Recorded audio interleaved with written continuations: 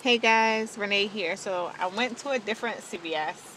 I thought they opened at 10, but she's like, no, we open at 8. Um, the pharmacy opens at 10. But it's cool because what the other store didn't have, I got from here.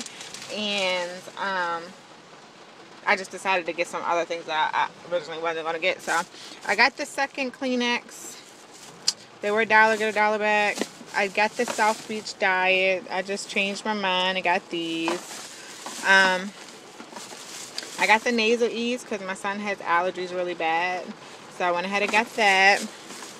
I got an Edge. Um, I got a Kotex and another Listerine.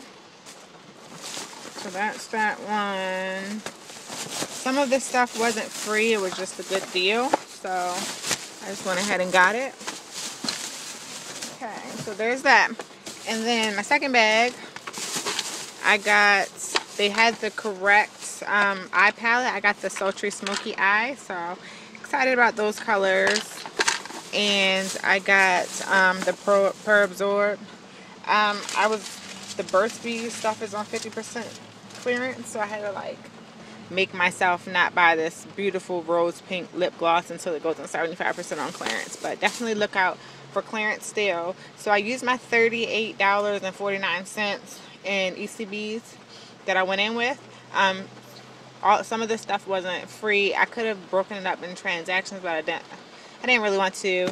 This by itself was $16.99, so I paid $9 out of pocket, and that was after tax. I think it was like, how much before tax? Hold on.